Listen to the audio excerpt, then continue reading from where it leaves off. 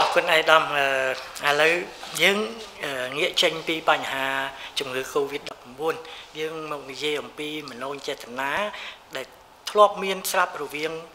កម្ពុជានិងវៀតណាមជាយូរលង់ណាស់មកហើយយើងបានដឹងហើយថានាពេលខាងមុខនឹងកម្ពុជាកម្ពុជានិងវៀតណាមបានឯកភាពគ្នាកំណត់យកឆ្នាំ2022នេះ ជាឆ្នាំនៃខួបអនុស្សាវរីយ៍លើកទី55ថ្ងៃបង្កើតទំនាក់ទំនងការទូតរវាងកម្ពុជានិងវៀតណាមឯកឧត្តមអាចបញ្ជាក់បានទេថានៅពេលខាងមុខនេះប្រទេសទាំងពីរនឹងធ្វើសកម្មភាពអីខ្លះដើម្បីអបអរសាទរទិវាដល់អ្នកខត្តរិកហ្នឹងហើយអឺម្យ៉ាងគឺបច្ចុប្បន្នកម្ពុជាកំពុងទទួលធ្វើជាប្រធានសមាគមប្រជាជាតិអាស៊ីអាគ្នេយ៍ដែលហៅកាត់ថាអាស៊ានតើ ការសកម្មភាពនាពេលខាងមុខនេះដើម្បីរឹតចំណងសាមគ្គីភាពរវាងកម្ពុជាវៀតណាមនោះយើងនឹងខាងវៀតណាមក៏ដូចជាកម្ពុជានឹងធ្វើសកម្មភាពអ្វីខ្លះដែរឯកឧត្តមបាទអឺយើងបានជ្រាបហើយគឺឆ្នាំ2022នេះគឺជាឆ្នាំយ៉ាងសំខាន់ហើយនឹងមានអត្ថន័យដោយសារ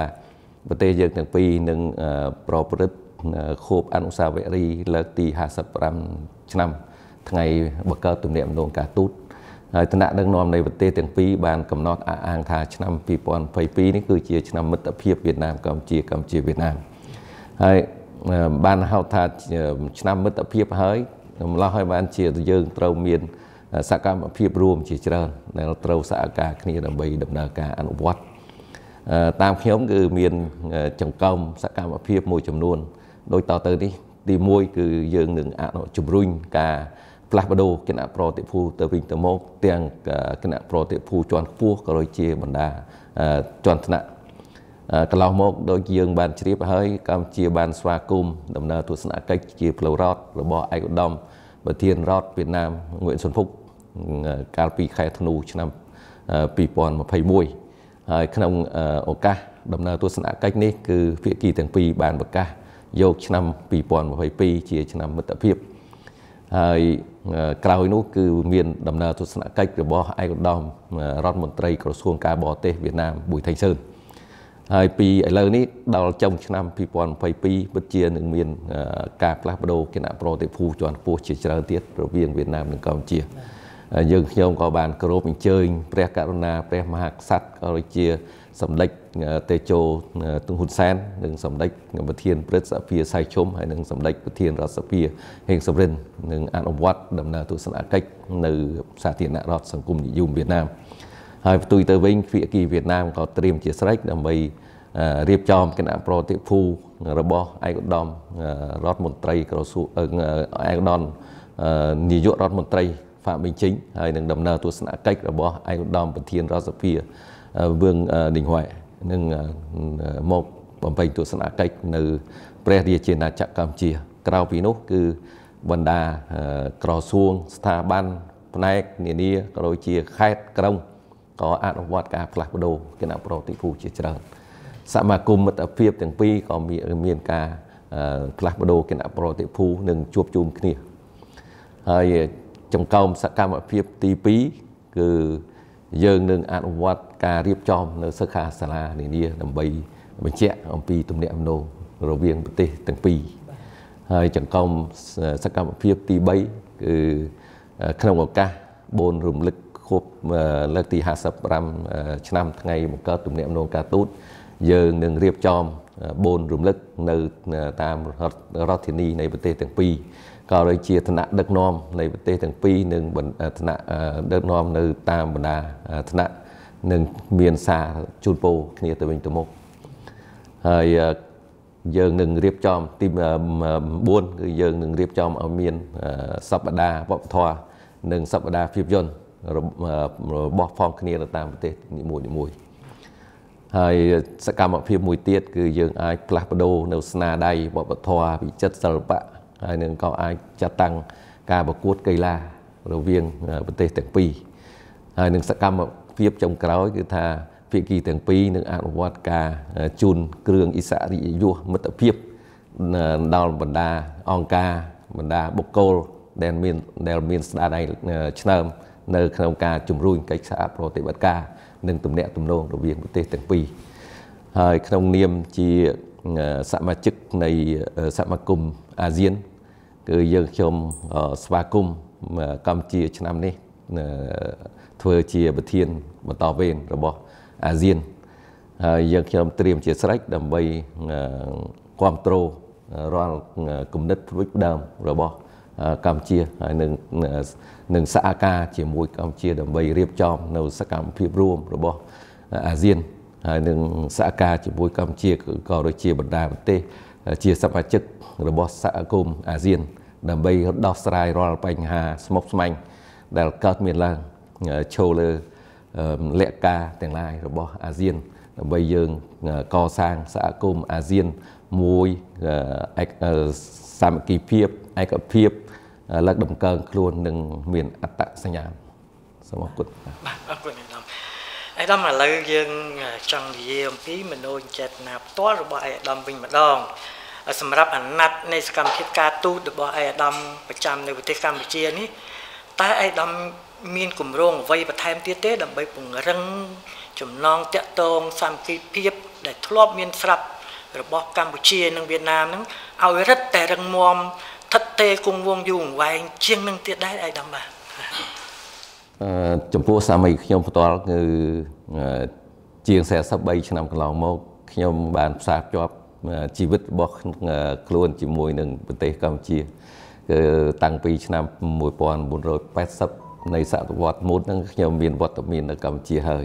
ហើយរហូតតាំងពីនោះមកគឺខ្ញុំក៏តែងតែសហការជាមួយកម្ពុជាក្នុងការងារ ហើយឥឡូវនេះត្រូវបានបកកុម្មុយនីសវៀតណាមរដ្ឋវៀតណាមនិងប្រជាជនវៀតណាមទុកចិត្តជ្រើសតាំងធ្វើជាឯករដ្ឋទូតវិសាមញ្ញនិងពេញសមត្ថភាពនៅព្រះរាជាណាចក្រកម្ពុជាខ្ញុំយល់ថានេះគឺជាកិត្តិយសដ៏ធំធេងរបស់ខ្ញុំក៏ដូចជាក៏ជាការតបកិច្ចមួយដ៏ធ្ងន់ធ្ងរដែលខ្ញុំត្រូវខិតខំប្រឹងប្រែងដើម្បីសម្រេចឲ្យបានតាមខ្ញុំមើលគឺមួយអាណត្តិ របស់ទូតនឹងគឺមានតែ3ឆ្នាំទេម្ល៉េះហើយ3ឆ្នាំវាកវាកន្លងទៅយ៉ាងលះបើសិនជាយើងដាក់ចេញនៅគោលដៅច្រើនពេកខ្ញុំខ្លាចថាមិនអាចអនុវត្តកើតទេម្ល៉េះហើយបានជាចំពោះសាមីខ្ញុំផ្ទាល់ខ្ញុំផ្ដល់អតិភិបលើបញ្ហាមួយចំនួន ទីមួយគឺក្រៅពីការបន្តពង្រីកនៅនៅទំនាក់ទំនងដ៏ល្អប្រសើររវាងប្រទេសទាំងពីរលើវិស័យនយោបាយ យោធាសន្តិសុខនិងការទូតដែលមានស្រាប់ហើយខ្ញុំនឹងផ្ដល់អាទិភាពដើម្បីជំរុញឲ្យបាននៅកិច្ចសហប្រតិបត្តិការរវាងប្រទេសទាំងពីរលើវិស័យសេដ្ឋកិច្ចធ្វើយ៉ាងម៉េចដើម្បីសហការសហប្រតិបត្តិការក្នុងវិស័យសេដ្ឋកិច្ចនេះវាក៏វាคล้ายទៅជាកម្លាំងចលករហើយនឹងជា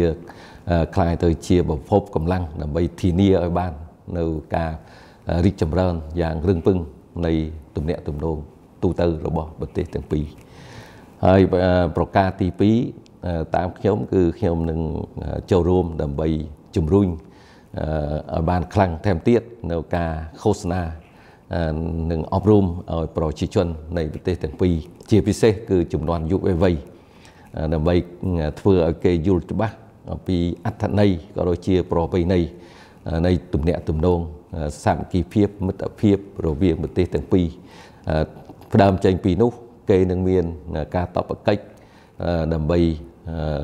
ធររក្សានិងពូនជ្រុំនៅទំនាក់ទំនងហើយនឹងកិច្ចប្រតិបត្តិការរវាងប្រទេសទាំងពីរ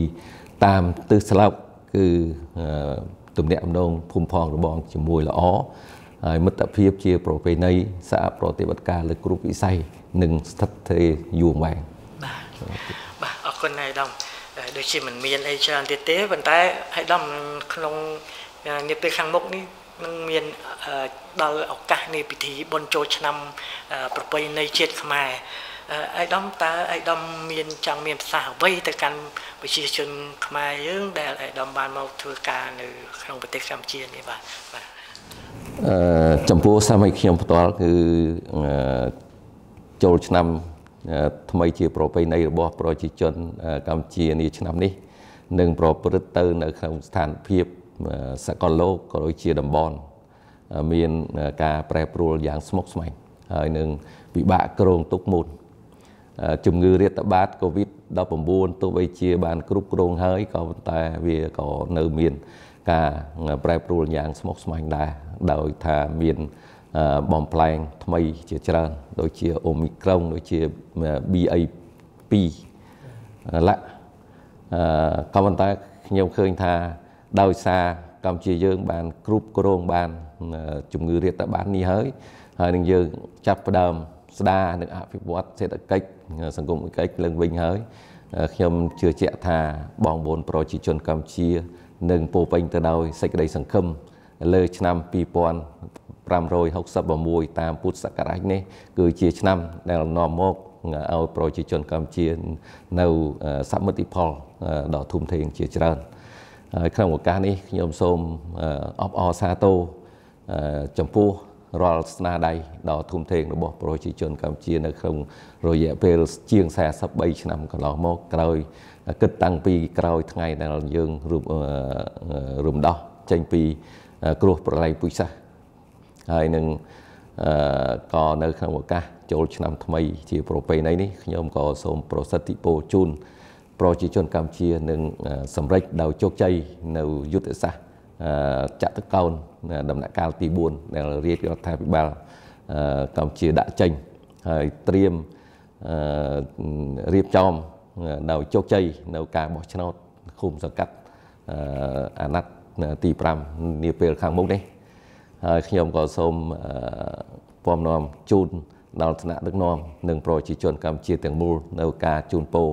ឆ្នាំថ្មីប្រកបដោយសុខភាពល្អបរិបូរណ៍ហើយនឹងដណ្ដើមបានជ័យជំនះគ្រប់ប្រការសូមអរគុណបាទអរគុណអាយដាមអគ្គរដ្ឋទូតជាថ្មីម្ដងទៀតជំនួសមុខឲ្យលោកជំទាវអគ្គនាយិកានៃ ស្ថានីយ៍វិទ្យុនិងទូទួលរាគ្នេ